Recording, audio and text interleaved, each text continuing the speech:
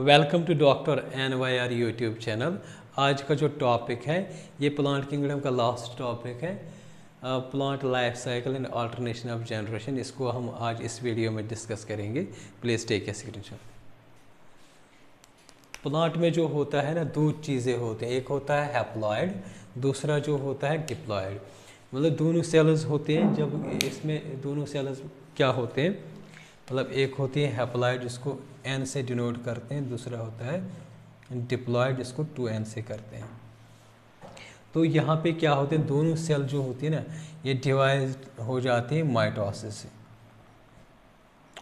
अब ये माइटोसिस क्या होता है? ये माइटोसिस में एक सेल है, इसमें ट्वेंटी ट्वेंटी थ्री क्रोमोजोम्स है तो इसको बोलेंगे हम हैप्लॉयड तो ये क्या करेगा, ये डिवाइड करेगी। दो सेल्स में दो क्या बनेंगे, फिर से ये डिवाइड करेगी। तो इस तरीके से जो होता है ना, एक सेल बहुत सारे सेल्स बनाते हैं, लेकिन क्रोमोसोम नंबर जो होता है ना, वो सेम रहता है। क्रोमोसोम नंबर में कोई चेंज नहीं होती है। तो इस तरीके का जो सेल डिवीज़न जो होता है, इसको बोलते हैं माइटोसिस यहाँ पे क्रोमोसोम सेम रहता है, इसी को बोलते हैं इक्वेशनल डिवीज़न कभी जब सेल डिवीज़न पढ़ रहा तो वहाँ पे इसको और एक्सप्लेन करें। तो प्लांट जो होते हैं ना माइटाटिस माइटासिस से, ये जो हैप्लाइड सेल हो या डिप्लाइड सेल हो, दोनों मतलब इसको माइटासिस से डिवाइड हो जाते हैं। ये जो हैप्लॉयड जो होती है हैप्लॉयड सेल ये वाली जब ये डिवाइड करेगी तो ये क्या बनाते हैं? गैमेटस तो ये जो गैमेटस बनेंगे ना, इससे वो गैमटस क्या करेंगे रिप्रेजेंट जिससे गैमटस बनेंगे। वो गैमटस कहाँ से आते हैं? गैमटोफाइट से। तो मतलब वो होता है गैमटोफाइट इसी तरीके से अगर हम देखेंगे, फिर जब फर्टिलाइजेशन उसमें होता है, वो फिर से डिवाइड हो जाएगा माइटोसिस से, और वो क्या बनाएगा? डिप्लॉयड प्लांट बॉडी मतलब ये जायगोड बनाएगा, जायगोड के बाद क्या होता है? जायगोड कैसे बनेगा? जैसे हमने पढ़ा है फर्टिलाइजेशन में मतलब मेल गैमेट आएगा, फिर फीमेल वो सेल होगी तो उस तरीके से क्या होगा? जायगोड बनेगा। जब ये जायगोड हो जाएगा ना, ये जब डिवाइड हो जाएगा तो ये क्या बनाएगा? डिप्लॉयड प्लांट बॉडी बनाएगी। जिसको हम डिनोट करेंगे टू एन से ये डिप्लॉयड प्लांट बॉडी जो है ना, यही रिप्रेजेंट करता है सुपरोफाइटिक प्लांट बॉडी मतलब एक प्लांट में दोनों, दो पार्ट चलते हैं। लाइफ साइकिल में दो पार्ट चलते हैं। एक होता है गैमटोफाइट फिर आएगा सुपोरोफाइट फिर स्पोरोफाइट से फिर से स्पोरस निकलेंगे। वो जाए मतलब इनका डिवीज़न हो जाएगा, वो गैमटोफाइट बनाए गैमटोफाइट फिर से क्या बनाएगा? स्पोरोफाइट तो ये क्या होता है? ये एक साइकिलिक मैनर में चलता है।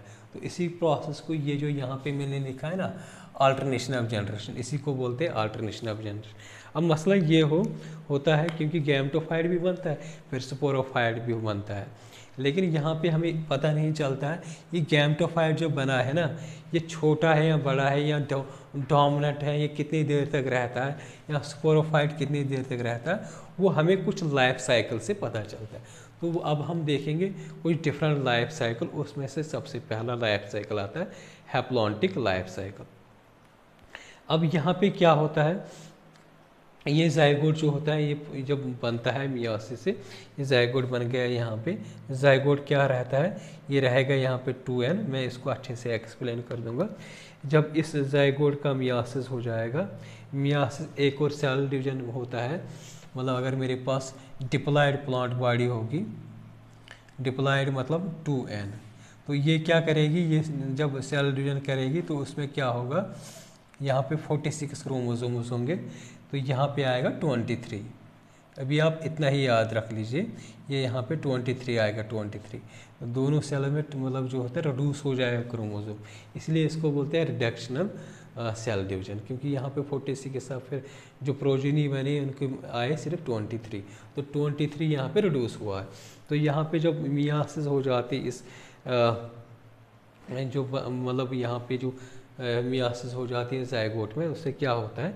हैप्लॉयड स्पोरस बनते हैं। ये जायगोट हो गया, ये हो गया, यहाँ पे डिप्लॉयड रहेगा, मियासिस हो जाएँगे, स्पोरस बनेंगे, जो स्पोरस बनेंगे, वो एन रहेगा हैप्लॉयडस रहेंगे।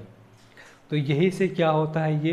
ये माइटाटिकली डिवाइड हो जाएगी, ये बनाएगा गैमटोफाइट गैमटोफाइड भी एन रहेगा, हैप्लोइड में रहेगा।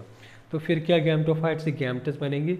फिर ये सिनगेमी में जैसे हमने पढ़ा था फर्टिलाइजेशन में, सिनगेमी जो होता है जाइगोट और जाइगोट जो बनता है with the fusion of male gamete and egg cell तो ये क्या हो जाएगा? ये बनाएगा जाइगोट जाइगोट फिर क्या हो जाएगा ये? तो अगर हम इस लाइफ साइकिल में देखेंगे ना, ये पूरा जो है ना यहाँ से यहाँ तक, ये पूरा रीजन जो होता है, इसको बोलते हैं सुपरोफाइट इतना इतना सा रीजन रहता है सुपोरोफाइट और ये पूरा बड़ा जो रीजन होता है, ये गैमटोफाइट रीजन होता है। तो इस तरीके का जो लाइफ साइकिल होता है, जिसमें जो सुपोरोफाइट जो होता है मतलब छोटा ही होता है मतलब हम अदर वर्ड्स में कह सकते हैं सिंगल सेलड रहता है सुपरोफाइट और ये जो गैमटोफाइट बड़ा रहता है अदर वर्ड्स में हम इसको कहेंगे मल्टी सेलुलर रहता है। बड़ा मतलब बहुत सारे सेल्स रहते हैं। तो उस तरीके का क्या होगा? उसको बोलते हैं हैप्लॉन्टिक लाइफ साइकिल अब इसमें और क्या रहेगा दूसरा?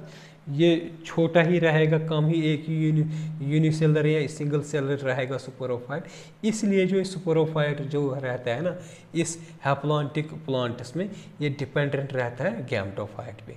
तो जब ये डैम डिपेंडेंट रहेगा गैमटोफाइट इसका मतलब क्या होगा?